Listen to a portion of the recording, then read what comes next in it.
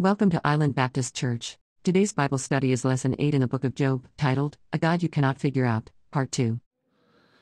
So uh, this, this Bible study has been, uh, not, not that we don't cross some um, um, unspoken boundaries, I guess you could say, in Bible studies every time we're together. It's not my goal. Uh, I don't come out here trying to just tell you stuff that you don't already know.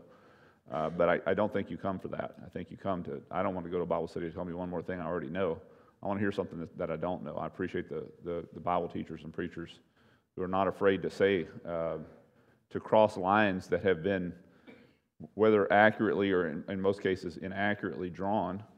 And a lot of times just because we, we make assumptions. Like I said, I've known the Bible all my life, so therefore I don't know it, there's nothing you can teach me. Well, um, that just because you said that tells me you don't know it well enough. Uh, because you have an assumption about what's running around between your ears that it's a little bit too high. Uh, we're never going to, if anything, Job is certainly an example of that. And he's going to give Job a lesson about how well we don't know God and how unlikely it is that we ever will know God fully. Uh, in, in fact, I would, I would say to you very clearly, you will not ever know God fully. It's not, you're not capable of it. Again, back to the shepherd and the sheep. So a sheep is going to know his shepherd fully someday? No. No, they're not. A child's going to know his parent fully as long as he remains a child, no. No, grows up into an adult and experiences what adults experience, but you're never going to grow up into be God, are you? So you're not going to know him fully. It- it'll be fine. It won't, it won't bother you at all. But we, we, we need to be put in our place, and part of, part of our Job study has been purpose of Job, I think, in the Bible is to put us in our place. It sure did put Job in his place and his friends. And they were the uppity ups, you know, they were the super smarts. They were the guys that had it all together. Job was the best man in all the East. Uh, they, were, they, were, they were the its of the day. And uh, you may think you're the it of the day. And uh, the book of Job is for you. It really is. Uh, it certainly is for me. So we're going to be in Job 38, is where we're going to be starting and going down to Job 30, uh, 42. We're going to be looking at several places. We're, we're basically jumping the entire middle section, more or less, with some comments. And we've been discussing uh, the, the, the friends and their problems and that they knew everything about God. And so did Job, by the way. He agrees with them in their positions. He effectively says to them, I, I know what you're saying to me, and I believe the same thing. The problem is, is that our conclusions were wrong because there's nothing that I have done. and What I'm experiencing is not related to anything that I've done. And his friends, his Job is sitting on the inside saying, Listen, I'm telling you, it's not the way we thought. His friends are sitting on the outside. So, no, we know it's not true, Job. You're a sinner. You need to tell us what you've done, you know, because no one ever suffers unless he's been sinning. And we know that. And we have this erudite understanding of the way things work. And God fits in a box. And, uh, and nothing's outside the box because we just we voted. And heaven is a, is a democracy, don't you know? And anyway, a lot of false thinking there that leads to false conclusions and bad uh, acting. And so, so that's where we are. So we'll start there in just a second, but let's, let's pray together. And uh, let's thank God for our time together and then also just ask for His help, as always. God, we do thank you that we've had a good time together. This has been a heavy study and uh, heavier than most, it seems. Uh, there's a lot of conclusions that we have that are needed to be tested, and a lot of conclusions that come straight from your scriptures that we've never, um, never thought were true. So, God, I pray that you would take us from where we are to where we need to be, as you say, growing up together into the full knowledge of all that we're supposed to be in Christ, each part of the body doing its work, uh, growing together in love. God, I thank you for your great love for us. I thank you that you can be trusted. Uh, and I thank you that this, this book, among many, uh, teaches that very thing. Thank you, God, for this time. Thank you for these that have been faithful, God. I pray that as they go back to their respective congregations and ministries, and God, I pray that they would take a blessing from you through us uh, with them uh, back to wherever they are. Uh, confidence to stand on your word, confidence to, to teach others about you. Thank you, God. I pray you bless our time now. Open our eyes and our ears and our minds, we ask in Jesus' name. Amen. So, so Job is, uh, spends the middle chapters with his friends basically saying, I hear what you're saying. I used to believe what you believe. I don't anymore. Here's why. Because I sit on the inside of this saying, it's not what it is. You're telling me that I have to sin in order to have these experiences, and you're saying I'm not perfect, but nonetheless I haven't done anything that brought this about. And they simply can't accept that. And so God has to take them to task, and then he takes Job to task. And he's going to answer Job down here in verse 38, and we'll, we'll see that in just a second. But the last time we were together, we saw several things that are very important. Number one thing is important is to understand you're not going to fully figure God out. Anyone who thinks he knows something does not yet know what he ought to know. Like I said, you tell me you know everything, you automatically tell me you don't know everything. Automatically know you do not know what you ought to know. Because the, the, more we, the more you truly know, the more you realize you do not know. The, the mark of a maturing Christian is that he knows for sure he doesn't know near enough. The mark of an immature Christian is the one who's, like I said, you've got God all in a box, and the world's all in a box, it all works a certain way, and that's an immature person.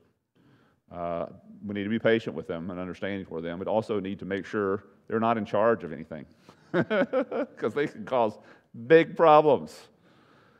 You didn't want Job's friends in charge of anything because they were the worst of the tools of Satan. I would submit to you, they're the worst. Now, Satan took away his family, took away his health, took away his income, but the friends, okay, here's, here's, here's the, again the danger. The danger of being like Job's friends is that you can be tools of the enemy. The statement that Jesus makes to, to, to uh, James and John when they want to call fire down from heaven right on the city who wouldn't let them pass through. We're just going to come to that town. And they say, oh, No, because you're headed to Jerusalem. We don't want you coming here. Let us call down fire from heaven. Jesus said to, to two, two big disciples now, one was the first martyr, the other one wrote uh, a significant amount of your New Testament, John. He says, You two do not know the spirit that you're of. That is always a danger.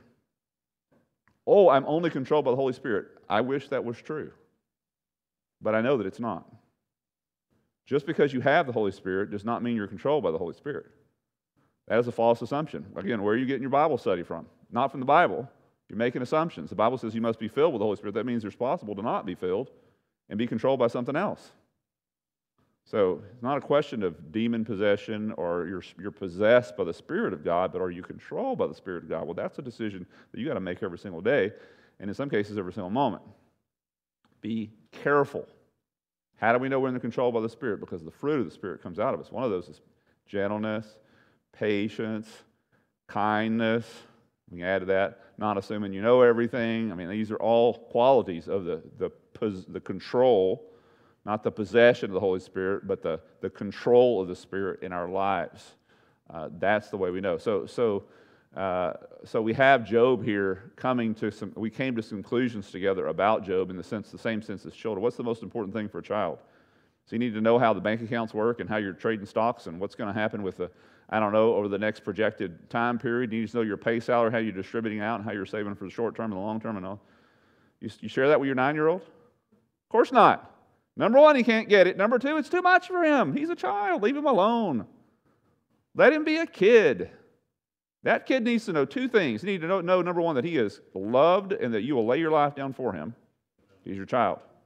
Number two, that he can trust you with all decisions, especially the ones that he can't understand. That child will have a great childhood. Way to destroy a child is to take him, take those two things away from him and share with him a bunch of stuff he doesn't need to know. You'll mess him up.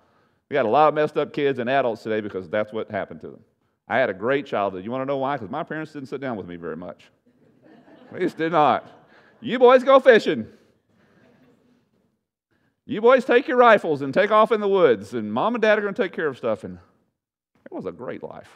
I wished I could have that back. I would love that. But, you know, you got to grow up. You know, it's sad. it really is. But having a childhood like that was just awesome. It really was. I knew that I was loved. I knew my parents could be 100% trusted. I knew my parents were not perfect. They were not. But when my parents were imperfect, they made sure they declared it. Because a child can see that. They know it. So there's, there is some, there is not a, there is, comes to a place where there's not a point of comparison between us and God and our relationship as parents to our kids because you're never going to get to the place where you see God's imperfect. And you're never going to see him having to come back to you and say, you know what, daddy was wrong about that. Never. 100% trustworthy. But even in an imperfect relationship, as much as my parents were good and great and we had a great home, even an imperfect relationship, it, it still is huge, a massive blessing. So, in a perfect relationship, in a perfect family that God has, you're the only imperfect part of it, me and you.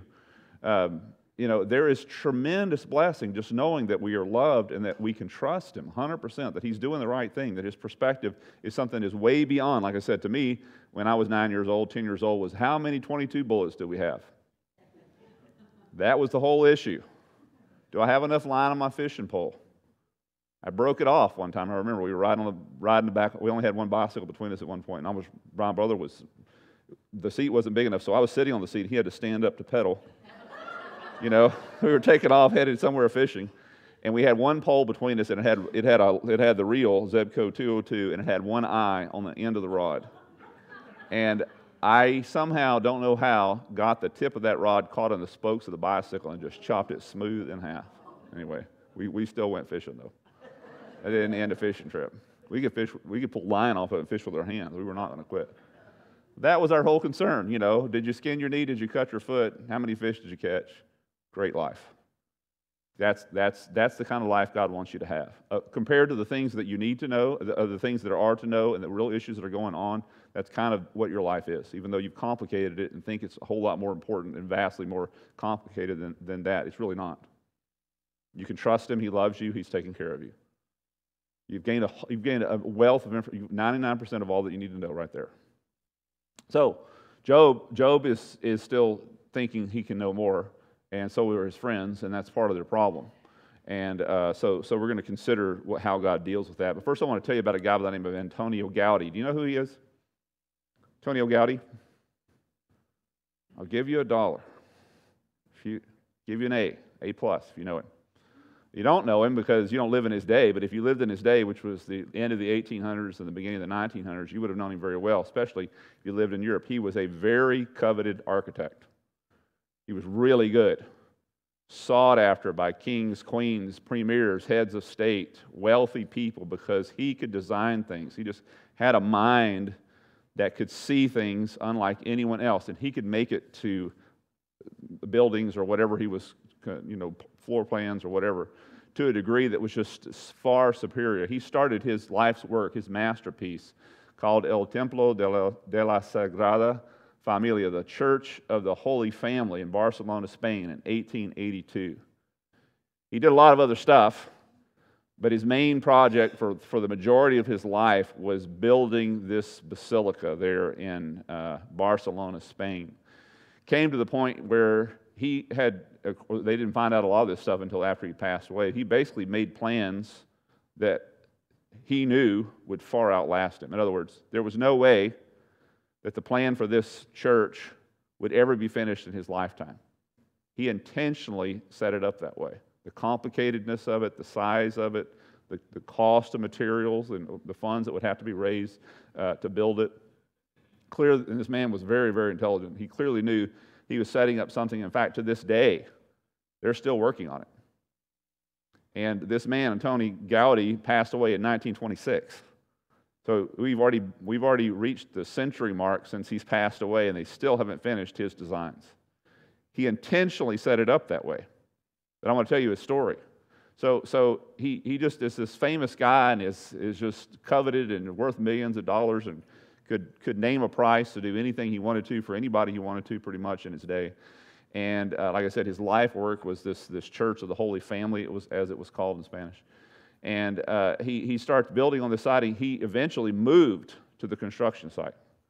Inside the, what, was, what had been constructed by that point, he built himself this little shack that just had, you know, coffee maker and a bed in it, and it had a place to sleep, and it had a, had a, a way to heat and cool himself. And uh, that's where he stayed for the rest of his life. Uh, he died in 1926. He was on the far side of Barcelona. He had gone over there to visit someone and was on his way back and was walking down the street. He was in, he was in his 80s by this time, wasn't moving fast enough. You can understand, right? Got ran over by a tram. Did not kill him, but it, it injured him to the point where he did die. And the reason why he did die is because he was dressed like a tramp. Uh, didn't spend money on clothes, didn't have, a, didn't have any identification, didn't have a dime in his pocket, worth millions. I mean, he was just this famous guy. And uh, so when they picked him up, you know, he was severely injured, uh, but they put him in a, in, in a poor person's uh, hospital on that side of Barcelona because they figured he, there's no way he could pay, you know, I mean, you can't put, put him in a nice place. And so for two or three days, his friends, he didn't come home. And these, you know, fabulously wealthy, powerful people were looking for him, couldn't find him. and They finally found him in this, the last place they would think they would find him, in this pauper's uh, hospital. And uh, of course, they immediately put things together to move him to the very, the, get the best medical care, the best, you know, everything, doctor, everything. He refused. He said, Why would I go over there? He said, My place is with the poor people, just as much as God's place is with the poor people. And he stayed there and he died as a, re- as a result of his injuries. And uh, he was, uh, again, he died in 1926. He started building on this basilica in 1882. And uh, at the time of his death, he was only about 20% finished with the plans that he had made himself. By uh, his, his, his plans are not, they, they, they think that they will be finished by 2032. So 10 years from today, for, from this year. That's the kind of, he, he established that kind of system, and he was often asked why he would do something like that. He was often well known for just creating these elaborate plans.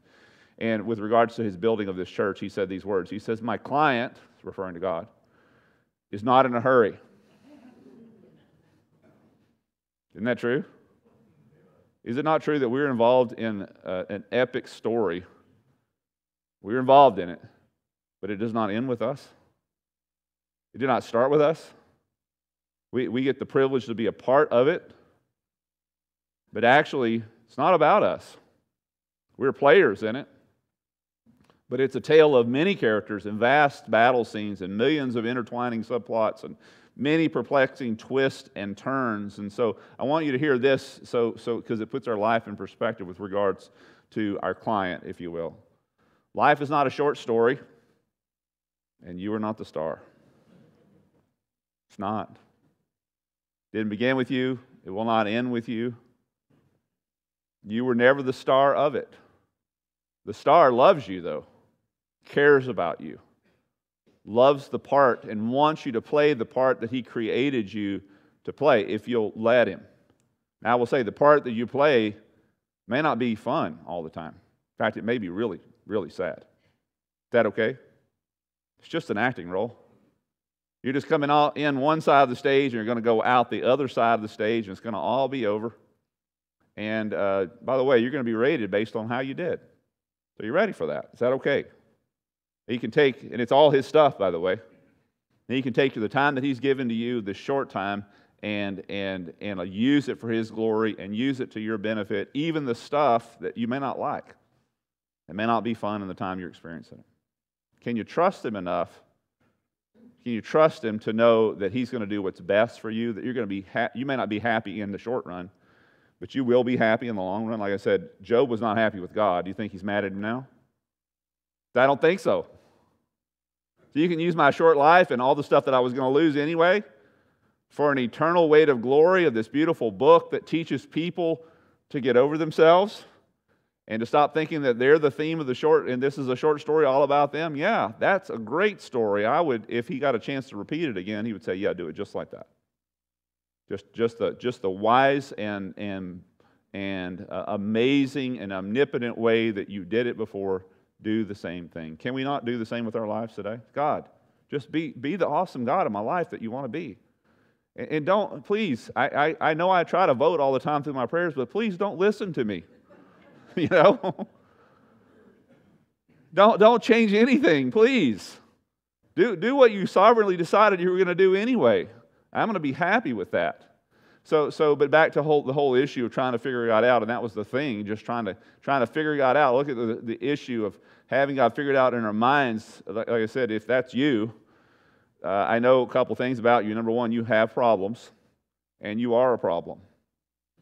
Because that's exactly what the friends of Job were. They had God all figured out, and they had problems because of it. And they were a problem. They were the worst tools of Satan, even though they came in for the right reasons. You're familiar with the term uh, well intentioned dragons?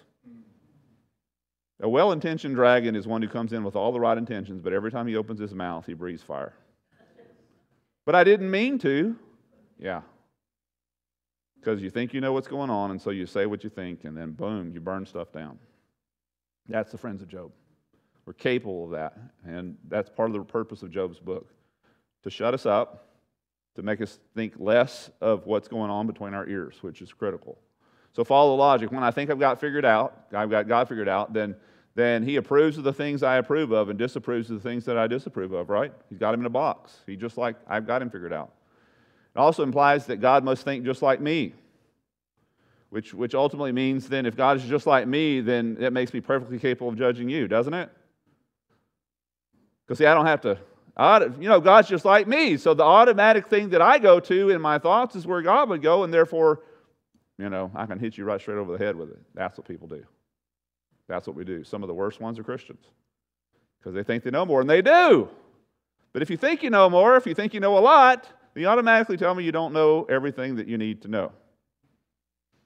Instead, we need to know that God loves us and that He can be trusted, and that's the message we need to convey. Uh, again, if I think God just thinks like me, I think, you know, I know God, that's what he, that's what he would do. I know what God would say in this situation. Are you sure? Are you sure? Well, in a short Bible study, we've assaulted a lot of positions that we've held classically. Again, I ask the question where are you getting theology from? Think you know the Bible? Because you read it, I don't know, 10 times? I mean, you know it better than most, because most haven't read it. But be careful what you do with that information. Sometimes information doesn't make you anything more than dangerous. That's not the goal of the Scriptures. The goal of the Scriptures is not to give you knowledge. The goal of the Scriptures is to change your life. So if you know stuff but it doesn't change your life, well, what use is this information for you? God's not just giving out information. His goal is not to make you smart. His goal is to change you into a person who is useful to Him, who's actually make who actually is a representative of the nature of God. That's the goal. Knowledge, no. No. Why would he call us sheep? Knowledge is not going to be our best asset. Just can't be. It just can't be. We'd like to think that it is. So, so I, I because I know God, because I talk to him all the time, you know, and he tells me stuff about you. so there you go. I'm afraid of people like that. And you need to be. They're dangerous. Like I said, they have problems and they are a problem. Be careful, people like that. I've got God all figured out, so I've got you all figured out. You need to give some our, our hard and fast conclusions a well dose of reality. Here's, here's a couple of doses. Number one, it's going to hurt. God is not an American. That's breaking some of your hearts, isn't it? I remember when I realized as about an eight year old kid, Jesus wasn't an American. I don't know. I mean, not that I was ever told that he was, but I just assumed in the Bible he's speaking English and he's a good person. All those people are, are Americans, as far as I was concerned. I was watching the Waltons. Did I tell you the story? Watching the Waltons. So they were saying, Good night, John Boy, goodbye. You remember that? And then the little girl, the little red haired girl, can't remember her, Elizabeth, maybe? I, she said something, that I had no idea Jesus was Jewish. And that's the first time it dawned on me that Jesus was an American. Really? So smart I was. So smart. So, number one, God's not American. Number two, God's not Republican. no, he's not. And number three, this is the worst one for me God is not a gun owner. Never owned a gun, never fired one. I don't trust people like that.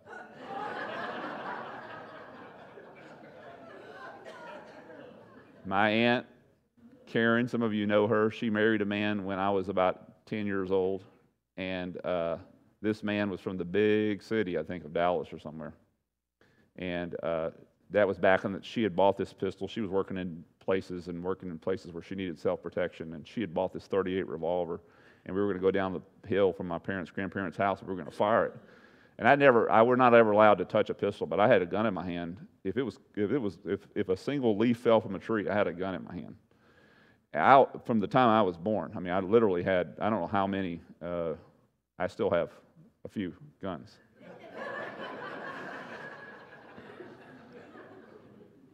but we went down the hill with this uncle of mine at this point. He was, had become my uncle and uh, we were going to fire this 38 special. I'd never fired a pistol before, but I know how a gun worked. And I was, for, you know, it's got a lever on the side. You roll the cylinder out, and you put bullets in it, and you click it back in. You pull the hammer, and you point point it in the direction of something you want to kill, because that's what will happen. And we were, I was carrying the pistol in my pocket. I have no idea why. And I pulled the pistol out and handed it to him butt first because that's what you do. And he was just, don't point that gun at me, son. Something like that. And I just thought, my, my immediate assumption from that point on was this man, does, he has no clue. Everything in my world had to do with if you knew what's the business end of a gun, you did not know what the business end of a gun was or how to catch a fish. Well, I have very little use for you. very little because that was the epitome of all you know the great thing, great things in life. All my heroes, my dad and my grandfather, were men who knew those things very, very well. So I don't know where I was going with that story, but it was a great conclusion somehow. oh, that's that's what it was. Gun owners, right? Raised with guns. God's not a gun owner. He's not. And you may think, well, yeah, I'd have thought more of him too. Yeah, he's not like you. He's not. Not going to be. He does not think the way you think. He does not understand the world the way you understand the world. His understanding, his comprehension, in fact, it's far, far worse than just a few issues that he differs from you on. Do you not know? Have you not heard? The everlasting God, the Lord, the creator of the ends of the earth, does not become weary or tired. His understanding is unsearchable. Not going to figure out how he thinks. Can't do it. Here's the Holy Spirit declaring in God's word that, that will not happen. Your mind and his mind are not going to meet. They can't. You were created uh, in a deficit with regards to that. You're not like him. Created in his image in the sense of a trinity Father, Son, Holy Spirit, right? Body, soul, spirit. You're a trinity in nature. But you're not, you got it, don't have it going on up here in order to search out the things of God. It's it, like I said, it's worse than that. Romans 11. Here's Paul. Talk about a great mind. He certainly was compared to most of us, especially me. Oh, the depths of the riches, both of the wisdom and knowledge of God. He knew a ton of stuff, didn't he? Wrote half the New Testament. How unsearchable, there it is again, are his judgment. Why he does what he does, not will know it 100%. And his paths beyond tracing out who has known the mind of the Lord or who has been his counselor. A lot of people think they are. And like I said, they're dangerous. They're dangerous. We vote when we pray, right? No. You not not known as mine, nor your counselor. You will not be that. Ever. Not your capacity. Not your job, not, not your bailiwick, nothing. It's not what you've been called to do. So, so here's some conclu- conclusions about that. God may very well accept people that you will never accept Is that okay? I think one of the things that are going to be in heaven, we're going to get up there and say, What is he doing here? The other thing we're going to say a lot is, Why isn't she here? Because God decides that. God may accept people that you may never accept, that God may very well do things that you will not agree with because. Because. Like I said, back to our kids and our relationship with them when they're especially when they're young. So the kid understands all why you're doing what you do and agrees 100%. Even if you got 50% of the time your household was peaceful, wasn't it? You don't get 50%, you may get 20, maybe 10. Kids don't know. They're not supposed to know. Also means that God may like things that I don't like and allow things to happen that I will never understand, ever. Now, we're going to know more when we get to heaven. You're never going to know it all. Because, like I said, it doesn't, there's not a clause here that says until we get to heaven, even though we put that in there. But where does it say that? It doesn't say that in the Bible. It says you're going to get up there when people say, Well, I'm going to have all these questions to get to God. I don't think you will. I think you're going to get there and you're going to realize the thing that mattered all the most was that you're loved and you can totally trust Him. Yeah, when the information comes, you're like, Oh, that's a nice thing. But it's not going to matter near as much as it does today because you and I have a high opinion about run, what runs around between our ears. You're not going to have it up there. You're going to be fixed. That's one of the biggest fixes we're going to get is the, the, the, the humbling of uh, from where we are today, even though we turn, talk about, about humility, and I'm big on humility and try to seek it out as best I can in my life, but I know I'm nowhere close to what it really, really needs to be. Just, it's going to be a part of it, and it's going to have a whole lot less. It's going to do away with a ton of our questions. I believe that. That's just his understanding, though, right? So we're not even got to the place of his person. So you and I may be able to understand the same things, That means you understand me? That's altogether different. So you can't even come up with what he knows and understands, much less now how you going to understand him? He's far, way out there. Way, way out there. If, but built into the demand that Job makes and his friends make, Job particular makes, built in that demand for God to explain himself, here's, here's, the, here's the assumption that God is like him. See, when, you, when you're determined to know why God does what he does, you're assuming that you're like him. You're not. You're assuming that your minds can meet. They can't. You're assuming, here's the worst thing, that you're a peer of God. You are not his peer. Not any more than a sheep is to its shepherd. You're not peers. Their minds do not meet. They do not. The sheep needs to trust the shepherd. Bottom line, period. Nothing more. Not going to figure it out. That you think like him, that you reason like him, that you're on the same level in him. And that's essentially what we want when we want an explanation. Because there's an assumption in there that we can understand the explanation and that our minds are going to meet here. God and us are going to, I'm going to have a conversation with the, when I get up there, the man upstairs. No, you won't. If, I mean, I guess if you will, if he allows it. But what makes you think you have a right for that and have the capacity for that? He's not your peer. Our mind and God's minds are never, ever going to meet. We are not created that way. But Job demands a meeting of the minds. And so God gives him a taste. And that's where we are in Job chapter 38. Let's take a look. So, Job has been uh, effectively halfway through the book, stopped having a direct conversation with his friends, even though his friends continue to berate him because they don't know what spirit they're of, and they continue to lambaste him. And Job just continues to have this basic conversation with God in which he says, I wish God would just come and talk to me. I wish that he would come and see me. I wish that we could have a conversation. I wish that I could lay my, my, my uh, uh, plight out before him. Oh, I wish for the day in which I could do all that. So, you know what? Be careful what you wish for because you just might get it. So here's what happens.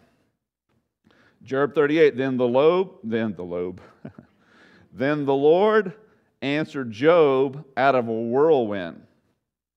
Why? I don't know. Because he can do whatever he wants to. He could have done out of a fire. He spoke to Moses out of one of those a couple different times.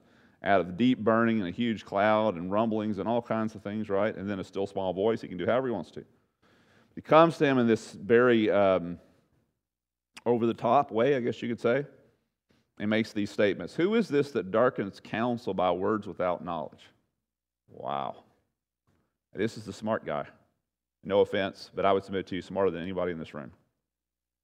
We, we, we confuse technology with intelligence. There's not the same thing.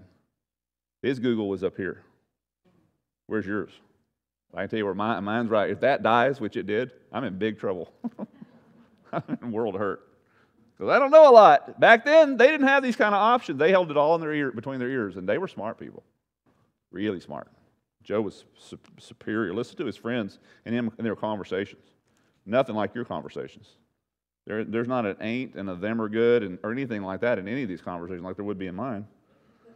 Super intelligent. Who is this that darkens counsel by words without knowledge? Now gird up your loins like a man, and I will ask you, and you instruct me. So since you're big and think that our minds can meet, and that we can have a one on one conversation that you're going to keep up with me, let's just make sure that we're on the same level. So let me give you some tests here. You tell me what you know. Where were you when I laid the foundations of the earth? You didn't get a chance to answer because there's not an answer for that, right? Or an obvious answer. There is an obvious answer. Tell me if you have understanding who set its measurements? Since you know. Who stretched the line on it? On what were its bases sunk? Or who laid its cornerstone when the morning stars sang together and all the sons of God shouted for joy? Where were you in all this, Job? Where was your understanding? You have all, apparently, you know all this stuff because that was be what was required in order to have a conversation with me.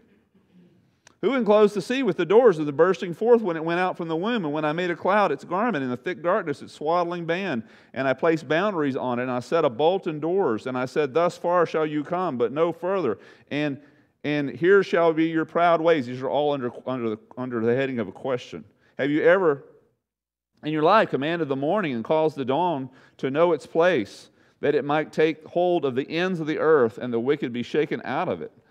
It, it is changed like clay under a seal, the earth is, and they stand forth, the, the continents basically, like a garment.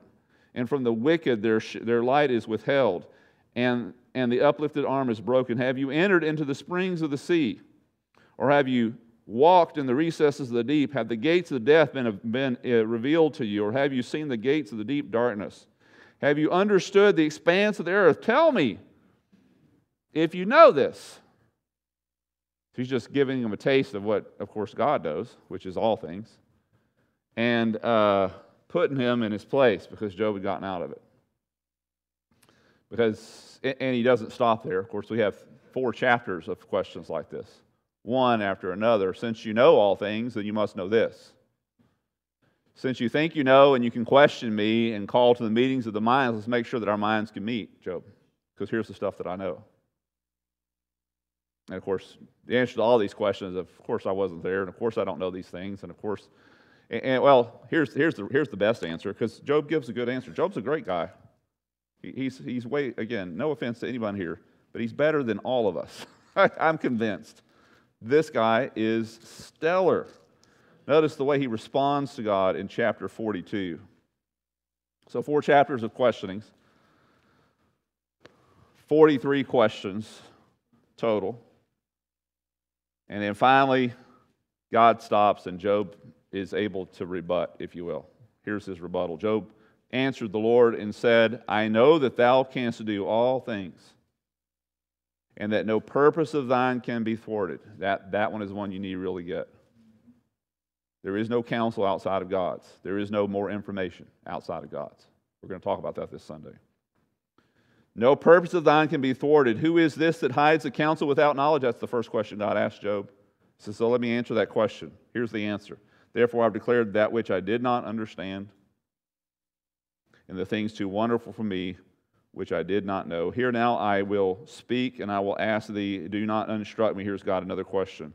I have heard thee by the hearing of the ear, and now with my eyes I see, therefore I retract, and I repent in dust and ashes. He said, I think I'm just going to shut up now. That's what he says. That's a good answer. That's, that's a good answer. Because there's nothing for him to say. There's just simply not. I think I'm just going to shut my mouth at this point. It's great having a God that we cannot figure out. You would not want it any other way. You would not want God to be able to meet minds with you. You do not want a God who you can spar with. You do not. It would be the worst thing for you.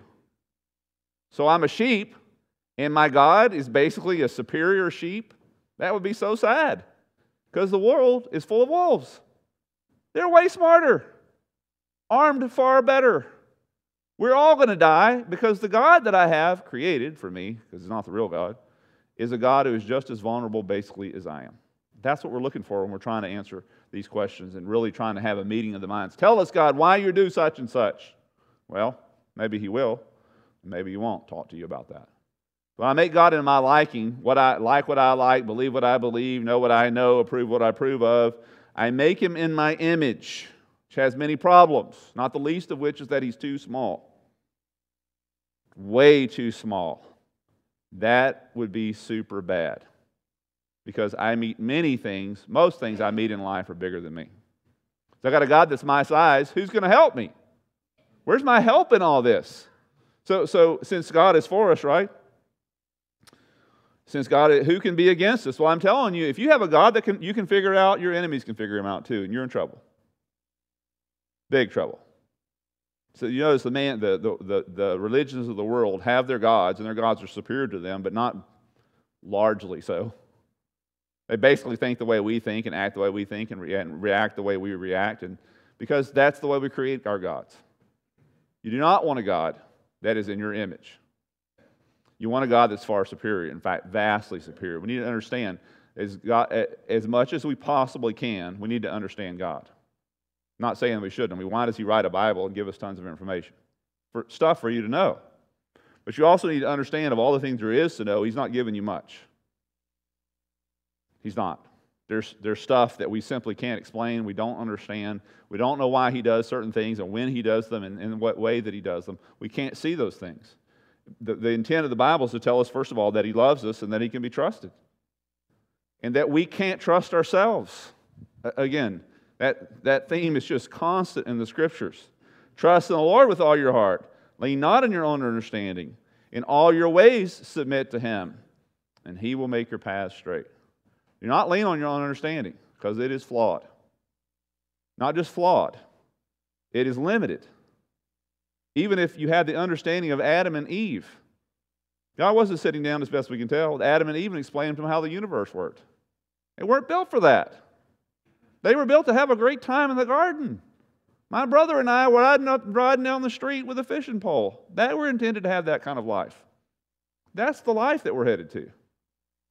That's the level of enjoyment where we can totally trust and totally feel loved and feel free to operate within that trust and love. That's what you're created for, not to be, you know, eggheads. Not created you that way. He could have done that, but he didn't build you that like that. He built us in a system of trust and a relationship of a father to a child, and that's going to be a permanent situation for us. Not that we can't understand him to a degree, not that we shouldn't try to what He's given to us, but the bottom line is, is we got to learn how to trust Him. We need to realize that there is a limit to understanding. There is not a limit to trust.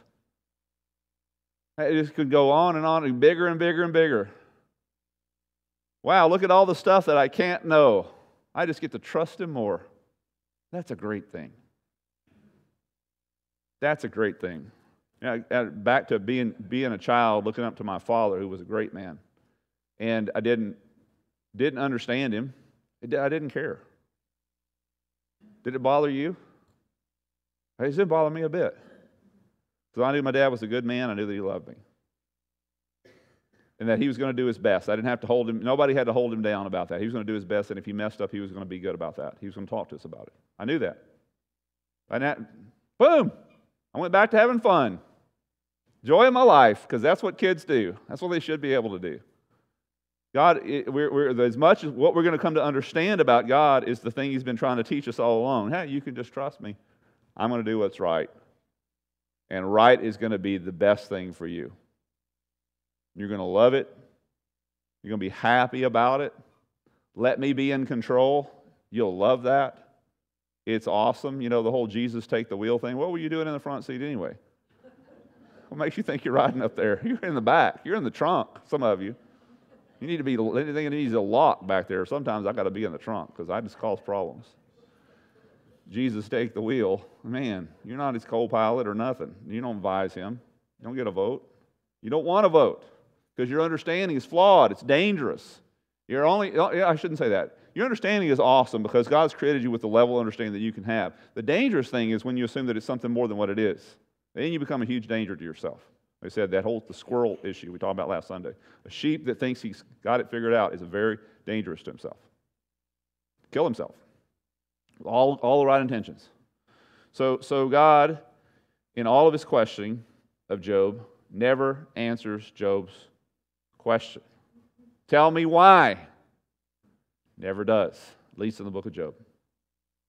Never explains to him, takes all of his kids, all of his health, all of his wealth, and then has this conversation with Job in which he doesn't explain why and the things that we are privy to, by the way. We have this book. We're able to see what happened in heaven and the decisions why God did what he did. We may not like it, like I said, it may be disturbing to us. Nonetheless, we at least have those things. Job, as far as we can tell, never got that information. Never did. And Job, smart guy. His capacity is great is, is equal to or greater than anyone in this room, or maybe all of us together, I would suggest to you. And yet, God doesn't engender his intelligence. Say, yeah, Job, I built you to be really smart, so let me tell you what happened. Never does that. He never does, because here's why. He doesn't need Job to be smart. Not what he created you for. He doesn't need you to be smart. He needs you to trust him. That is what he created you for. He needs you to love him and feel his love. That's what he created you for. I got an elephant trying to fly. That'll never happen. You need to quit that if, that if you're that elephant. Stop it. Be an elephant. Be a human. That's what God created. He didn't create you to be some supernatural creature with vast intelligence. He created you with the capacity, though, to fully trust Him. Never does God demand that we fully understand Him, but He does demand that we fully trust Him. He does. Got a right. Because He can be trusted. And when we don't trust Him, you want to get on His bad side. That's the way to get on His bad side. That you don't trust me, He has a problem with that. God never demands that we understand Him. He does demand that we trust Him. His capacity, His, his infiniteness, all these things, we're never going to reach the end of that. It's never going to be with, it's not our, our ability to do that. Uh, everybody from the Great Lakes region, we got Michiganders and Minnesotans and Wisconsiners and Illinois, and you are among some of the biggest lakes, you know, in the world. You know, one of the largest lakes in the United States is not a part of the Great Lakes. Do you know where it is? You get a dollar. Where is it? It's Lake Tahoe. Yeah, it's in California. Who'd have thought? One of the largest lakes by volume in the world is Lake Tahoe. It's the eighth deepest lake in the world. And that depth was determined by a couple of guys. I guess they ran out of booze because they filled their wine bottle with rocks and tied a string around it in July 4th, 1875. And they plumbed the depths of Lake Tahoe, found it to be 1,645 feet deep. Later, 100 years later, almost determined by sonar, they were almost within a foot exactly correct. They weren't that drunk, I guess. Very deep lake. The volume of that lake will blow your mind. Let me give you some stats. So if California is not a small state, this is part of California, right? It's on the border of California and Nevada, I believe. So California is not a small state. If you took Lake Tahoe today, turned it upside down, and poured it over the state of California, it would cover the state over 14 inches deep, the whole state. That's how much water is in it. That's a lot of water.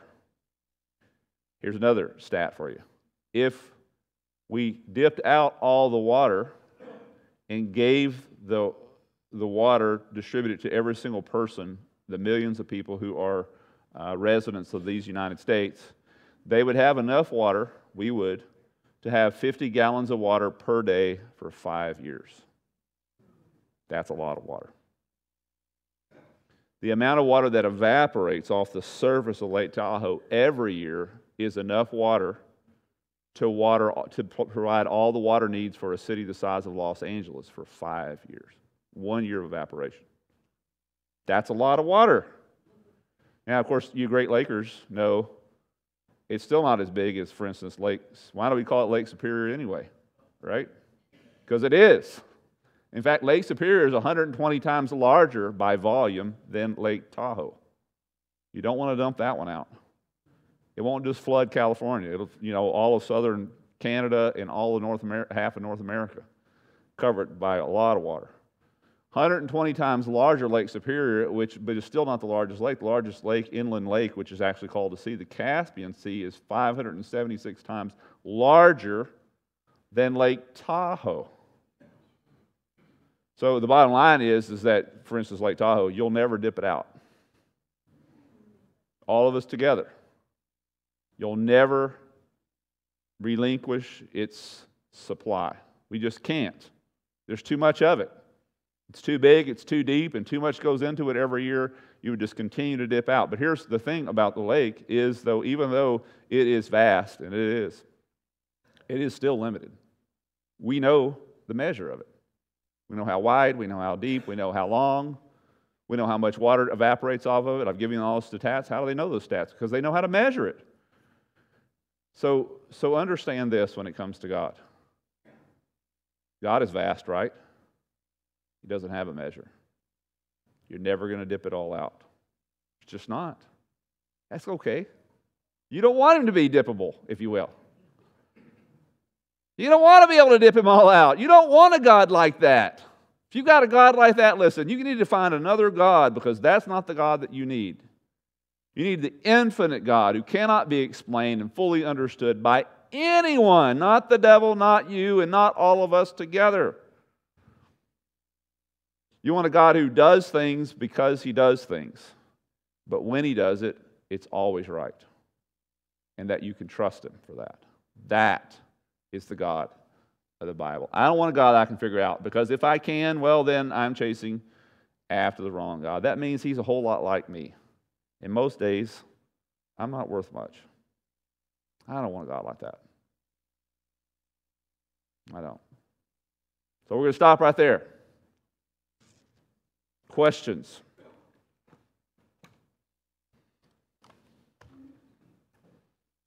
Book of Job. Somebody says, You're not going to go over the whole book of Job in eight studies. I said, Well, yeah, I am. I'm just going to gloss over a bunch of it. Because it is sort of redundant in some ways when you read those chapters, even though, man, they talk about some very heady, very intelligent things. Read those things.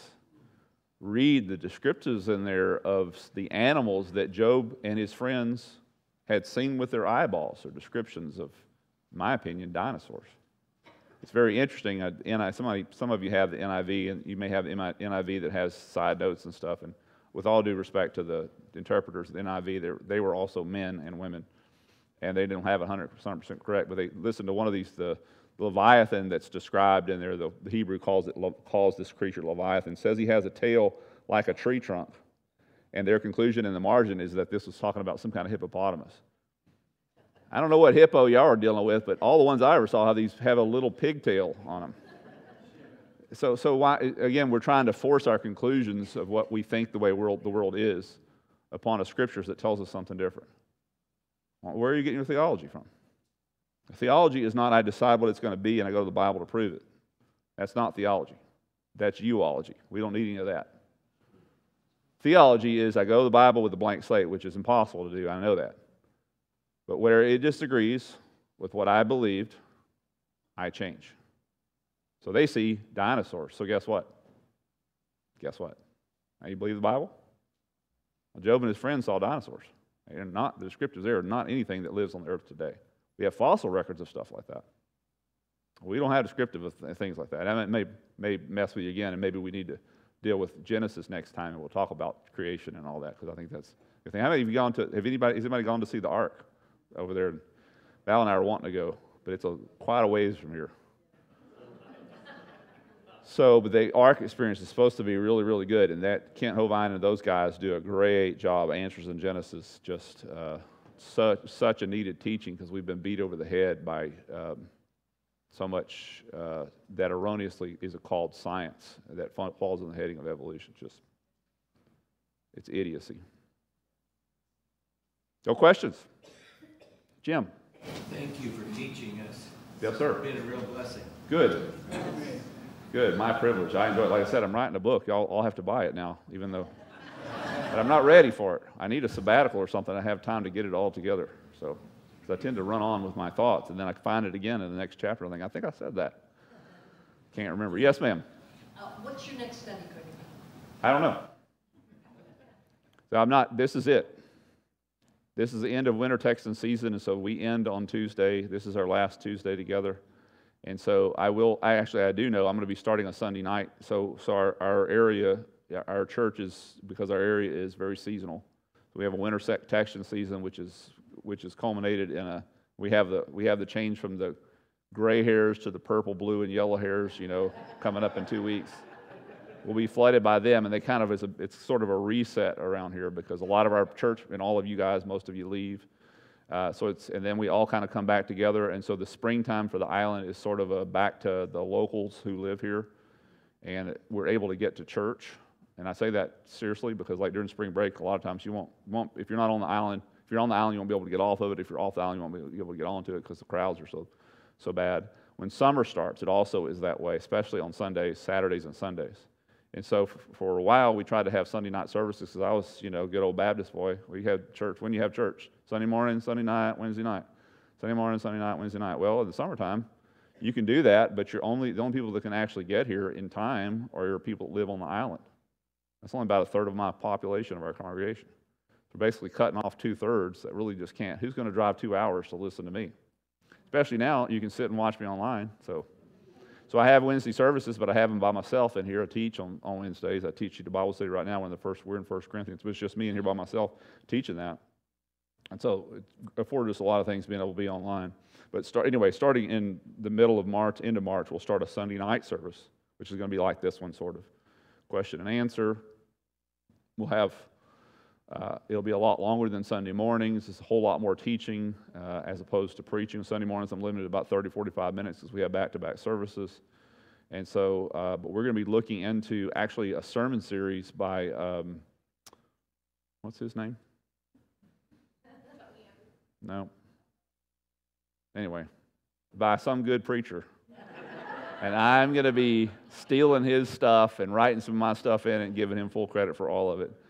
Just because he says he, he says some things that I think really need to be said. And it'd be just, I mean, in my opinion, might as well just put his tape up here and we can watch it, but it's, it's not as effective, huh? David Jeremiah, there you go. Great preacher. Love him. Where do, where, it's, it's the study of where do we go from here? And if you haven't gotten it, get it. The guy is on it. As far as where we are in these United States, as far as where we are and the, and the direction things are headed, and the things that we're forgetting about socialism, about Marxism, about all these things, and where we are class, we're in a classic cycle here, moving into socialism and Marxism. This is not the first time it's happened to a country. We'll be talking about that. This is not going to be a, not going to be a political statement, and, and uh, you know what I say? If we go to Marxism cap, from capitalism, oh well. I mean, I hate it as an American, but I'm not called to be an American. I'm called to be a son of God, and I, I have to. We have to bear the testimony of God, and we so so, and that's David Jeremiah's position as well. He just says, "Listen, where do we go from here?" In other words, what? How, how do we in the, in the changing times? How, how do we adjust so that we can be the people that God has called us to be? Because uh, we only have a short life. And it's the bottom, the bottom line is not that we leave this world, you know, saving America. The bottom line is we leave this world by saving Americans, or and everybody else for that matter. So we need to be very careful. So David Jeremiah, is that what you were asking? Oh, no, I was wondering what the name of your book is going to be. Yeah, I don't know. The Book of Job? No. maybe maybe uh, disturbing conclusions since I use that a whole lot. So from Job. Yes, sir, David. If they come for your guns, are you going to give them up? What? They come for your guns. If they come for my guns, that's good. Good question. Am I going to give them up? Uh, I'd have to say right now, yes. Yeah, it'll break my heart. But my Bible tells me that I have to follow the laws of the land. It doesn't say I have to. It doesn't say it now. Again, where, where does rebellion come in? And I know our we're all here except for the few Canadians.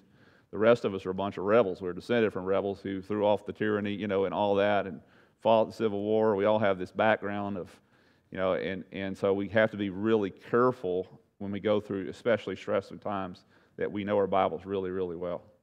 The Bible doesn't say that I deserve to have guns. Like I said, I, I'd have thought more of God, more of God too. I can't believe he didn't own guns, but he didn't. He's called me to be a son of God, an evangelist, and a message carrier. And if that means I have to get rid of my guns to do it, yep, I'm going to do it. Now, again, can God call a person to stand for his rights and, and, and be a testimony, you know, under those circumstances from jail? Well, then, yeah. And maybe God will do that for me. I don't know. But as it stands right now, if they come by and say, because obviously the only ones who are going to obey the laws are law keepers, and I'm a one of those. By God's, by God's rules, I have, to keep, I have to keep the laws of the land. So if they make rules like that, I have to keep them. And if I can't keep them, I'll have to move somewhere else. But then I'm going to have to hear from God to tell me that I, that's what I'm supposed to do. Because right now I'm called to America and to Baptist churches. That's the only place I've been. So I hope I'm dead before that happens. It's coming, though, David. It is. It's going to be a decision for, uh, it's already been a decision that had been made by Canadians. I know that. We had Canadians that were telling me 15 years ago uh, that they were, bring, they were going to smuggle all their guns across the border and bring them to me.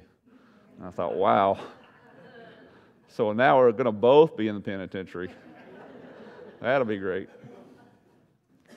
So, but it's headed, you know, it's headed our way. Of course, this happened in Australia. It's happened in these, uh, in, in the Commonwealth nations. And even though we don't want to think of ourselves that way, that's what we are as well, guys. English, English Commonwealth nations, all of us. So it's headed our way. Their, our cultures are the same. So, yeah, David, you have. Would, would God be mad at, mad at us if we uh, kept their gun and fought from a house, yeah. shot from every window? I don't know. You know, that's that's a decision that you've got to make before God because obviously I have a lot to be grateful for from, from men and women who did that. So, and, and, and for me to sit back and say, well, it was wrong for them to do that. Okay, but you know, here I am preaching in a church with no, at least not yet, nobody uh, reining me in, and I've got a right to go and own guns, and I got all kinds of incredible rights because these men and women fought and died to make sure that I'm here. So it's not a, it's not a cut and dry, it's not a cut and dry decision. It's, it's sort of back to not to stir the pot here. And maybe, it, maybe I should, but maybe I just will anyway, because then I can just say, okay, it's over, y'all can go home with the whole issue of vaccines and all that stuff that we've had this past year. And, uh, you know, some people wanted me as a pastor to draw a line on that. And my uh, drawing the line on that is this you need to be perfect, you need to be perfectly convicted yourself what you need to do and do that.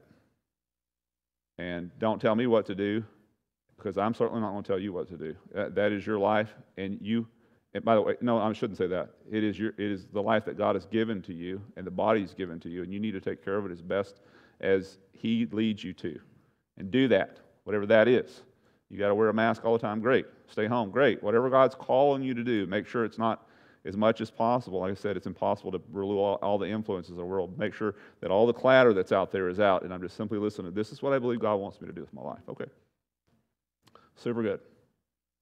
We need to allow ourselves to be that. And it's sort of, sort of, sort of, we're sort of already facing some of those questions, I think, now to a certain degree, David, and we're kind of learning and maybe a precursor to some, some bigger questions that are, I think it really is, some bigger questions are coming. Yes, ma'am.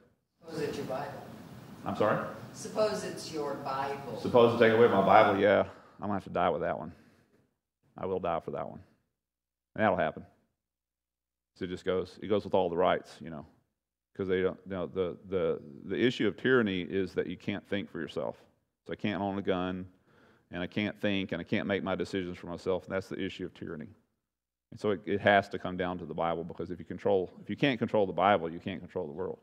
I mean, ask, no offense to any Catholics here, but ask the Catholic Church how they ruled uh, Europe and really the known world. They did it by the restriction of information. No Bibles. And so when they, they would keep them locked in pulpits. And so the guy up here would tell you how to think.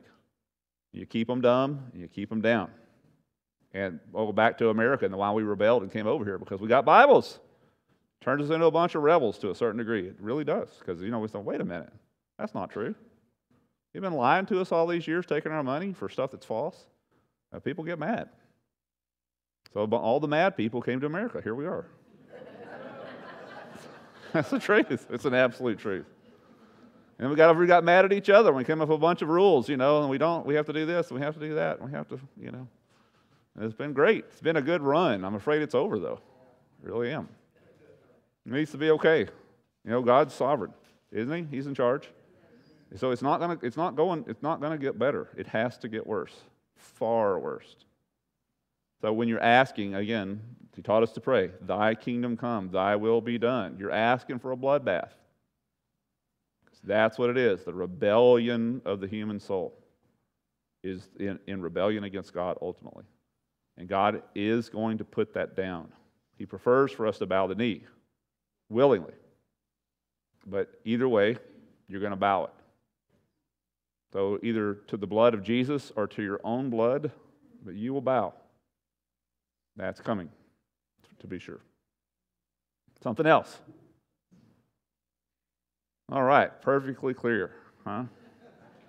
So the book will be better because I'll have a lot more time to think about and go back and say, no, that's not right. So it will be better. I just don't know when it's going to. It's finished. But then I, you know, if, if you've ever written a book, you finish it and then you go back over it and think, what in the world? I don't know why I said that. And then you go back, then you wait two months and go back over it again. You're thinking, what in the world? That was not, and that doesn't even make sense. So, all right, let's pray. God, we thank you so much for teaching us. Thank you, God, uh, for the humbling experience we've had through the book of Job. Uh, what a great man, what a mighty man. And we could certainly, if we want to aspire to be uh, great people, we certainly need to be like him.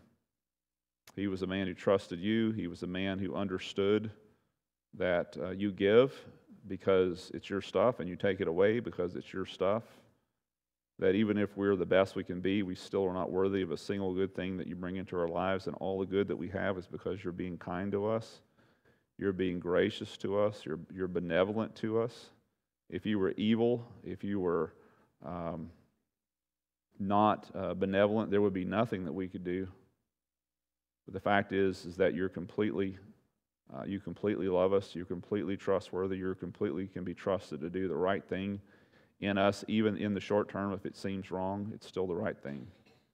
So, God, we trust you with our lives. We, we recommit ourselves to you. We commit our troubles and our trials and our struggles and the things that we can't explain and that we don't understand and that put our hearts in um, a great quandary. We want to speak over those things, God, that you're trustworthy, that, that you know what you're doing, and that it's going to be good uh, when it's all said and done. Because you're in charge, God, we know these things are true. So thank you for this time, God. I pray you bless the understanding of it and the, the mulling it over, Lord, in the, in the days and weeks to come. Thank you, God. It's in Jesus' name we pray. Amen. Thanks for visiting. Find us at www.islandbaptistchurch.org.